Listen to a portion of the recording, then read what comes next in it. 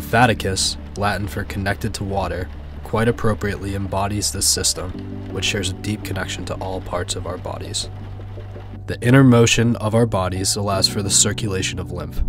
It flows throughout a network of lymphatic vessels that returns interstitial fluid back to the venous system. Collections of vessels combine into the lymphatic trunk, further draining into either the right lymphatic duct or thoracic duct. This network of vessels aids in the defense against pathogens, absorption of fats, and balance of fluids.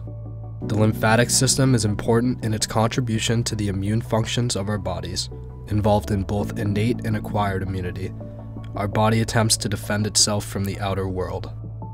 The lymphatic system is comprised of several components lymph, lymphatic vessels, lymph nodes and nodules, the thymus gland and spleen, and lymphocytes. Each part of this system, from gross anatomy to the smallest cells, are vastly important in allowing the rest of our bodies to function properly. This is evident in human immunodeficiency virus, a retrovirus that attacks T helper cells.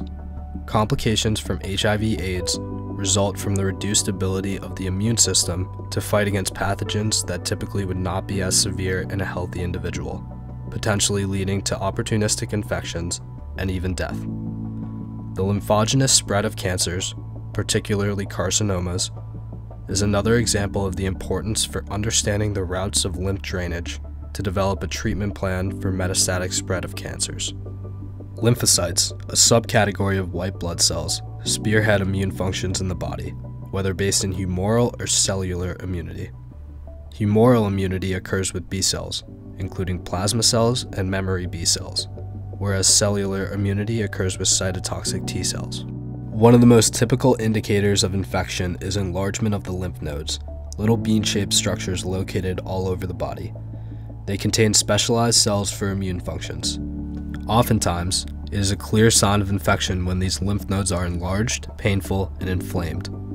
You can feel your own lymph nodes if you learn their location and move your fingers in a circular motion. The size, tenderness, and feeling of these nodes may indicate immune responses within.